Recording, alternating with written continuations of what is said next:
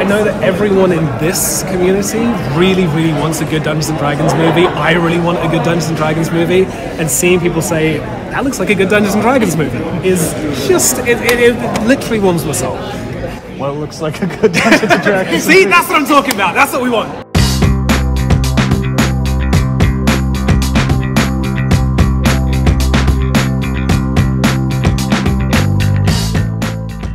Class is your character in this movie? I was going to say. Um, I play Xenk. Xenk's a paladin. Um, that's the class. That's, that's the answer. What What does that mean? What can audiences expect? Uh, paladins are kind of holy warriors, so they're somewhere between knights and not really wizards, but they got some kind of casting ability. Um, so he's kind of a magical holy knight. Well, I've never played it. I'm too frightened. It sounds like witchcraft to me. Satan suddenly appears in the room. I don't want to touch it. You did play it. Uh, you spoke at the panel about playing the game with your family, and your nephew is Dungeon Master. How long did you all play that game? like four hours until my father had to leave for something. Um, but it was great fun and we laughed a lot. And my nephew got frustrated because we weren't playing it correctly, which made us all laugh more. It was just a good, it was a really, really good time. It was a really, really fun time. Have you planned your next quest? Uh, I did four months of a pretty serious quest, so I'm, I'm on a D&D break at the moment, but I can certainly see myself coming back.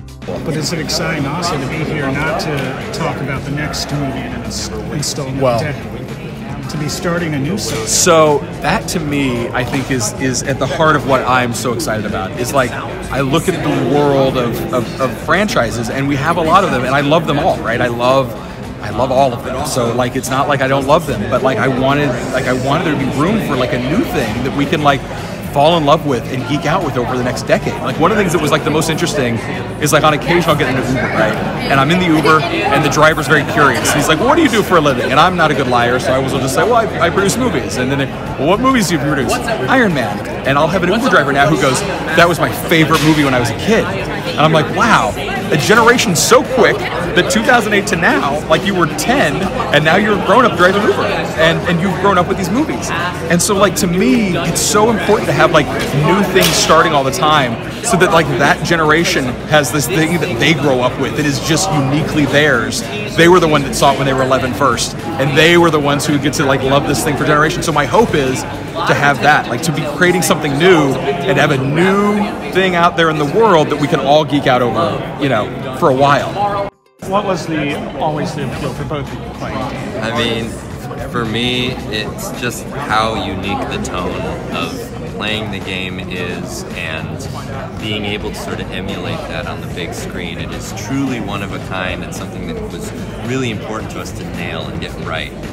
It's also what's fascinating and baked into the game is that it brings contemporary attitudes to a fantasy environment. You're playing as a modern kid or adult, and yet you're in this world that's very foreign to you.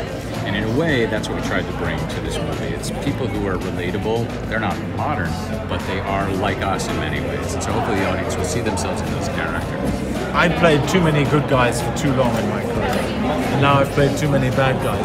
I like to really bore my audiences, but I, I do think this film's pretty entertaining. I read the script and thought this won't be for me at all, uh, and it was so funny. It was a proper piece of Monty Python, very British humour. I thought. When you mention uh, Monty Python, is that kind of controlled, chaotic satire, that very British sensibility, something you've always wanted to do on screen? Yes, well, I was raised on Monty Python. We, we used to, you know, set our clocks by it and repeat every sketch at school the next day. So uh, it's all that's all sort of deep in my DNA, and um, I feel like it must have been a very influential thing on the, the, the Jonathans who wrote and directed this film. I mean, that clip we played just now of the dead bodies is you can't get more Monty Python than that. The audiences have obviously seen you play Smolder before. Uh, but what's it like to really indulge in the comedic side with this movie? Um, it's fun, as you hope the comedic side. Um, and you know, folks have seen me differently. I did, I did, I did all right. Um, it's every, you come to every job fresh, you know, and I've done the same thing in, in that respect for the past 10 years, you kind of look at each script as though you've never looked at a script before, you see what it is on its own two feet. And the joy of this script was it wasn't what I expected. It had a huge amount of heart, a huge amount of humor, and I think that that sense of compassion and fun and adventure paints with a really white palette in this movie. So I think that I'm now really confident taking that out to the rest of the world after we actually get to this movie. Do you see the potential for a universe? I mean, look, those are the kind of movies I feel that I know how to produce. So I'd be crazy to say like, well, I think this is a one-off and there'll never be another saga in this world again. Like it's the richest world ever. I mean, it's like the densest, most like open-ended sort of lore that you could ever imagine. You could make any kind of movie in this world. You could make a heist movie. You could make a romantic comedy. Like you can literally do anything in the world of D&D. It's that big. It's that diverse. You can make any kind of film. So it's like, yeah, I think we can make a lot of stuff, and I'm excited about it. Like it's a great precipice to be standing on. But the main way to do that is to make sure the first thing is good. And and that was one of the things that you know Kevin always would tell me. You know, be like, I'd be like, oh, we should save this idea for the second movie, and Kevin would say, there's no second movie, Jeremy if you save something for the second movie, there will be no second movie. And so I think we've like used all the good ideas we have, like in this movie. I, I think I've tried to take that to heart, and we've like put as much in this movie as we can. All the fun ideas we had for this film, we've put in the film, and uh, and then hopefully we have more ideas if we are so lucky to, to need them. Does it feel like this movie's coming out at the exact right moment in the zeitgeist with it on Stranger Things and fantasy just coming back in such a big way? I mean, it's interesting, right? Like, um, I think fantasy's having a moment. I think the pandemic strangely left people very isolated, and one thing they did to get through it was turn to playing fantasy games together online because they could still be with their friends. And it was something that, like, you don't just like, oh, let's talk for three hours on the phone. That's hard. Let's play a game together where we also talk for three hours on the phone. That's easy.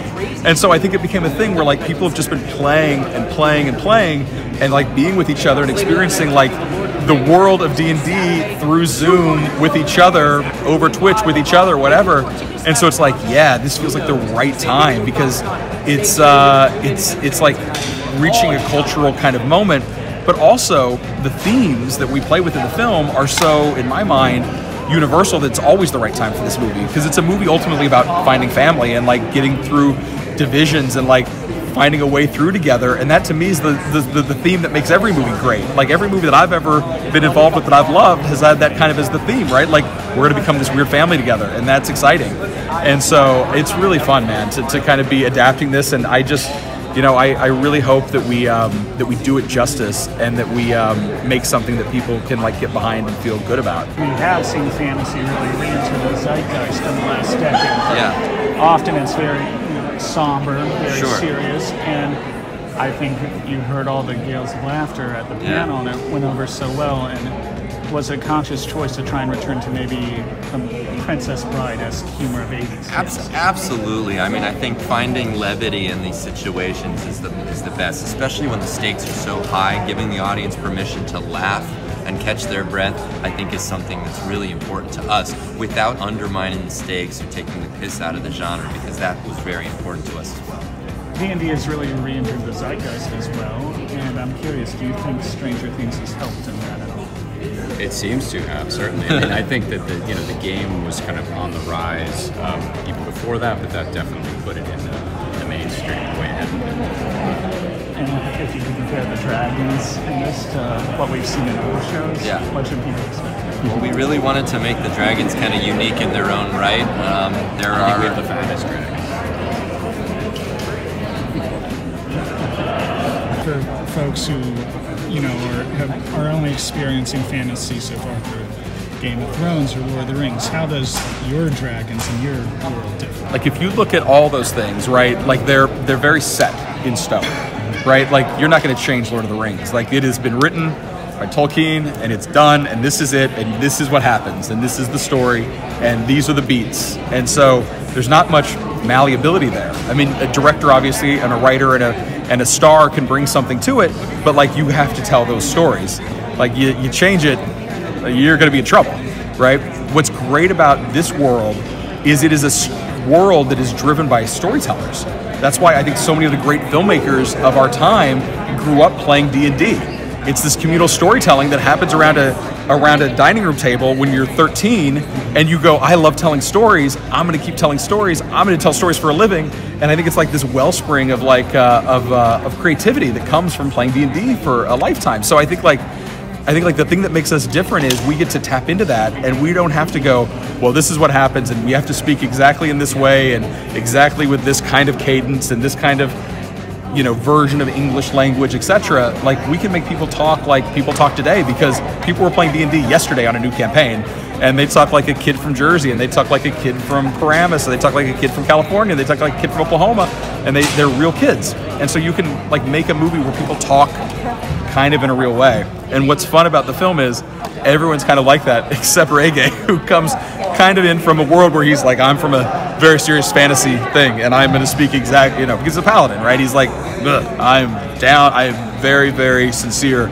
all the time, and uh, and it makes for a really fun dichotomy with him and Chris. I was going to say, how was hearing that audience reaction? electrifying. Electrifying, but also soul warming because I know that I know that everyone in this community really, really wants a good Dungeons and Dragons movie. I really want a good Dungeons and Dragons movie, and seeing people say that looks like a good Dungeons and Dragons movie is just it, it, it literally warms my soul.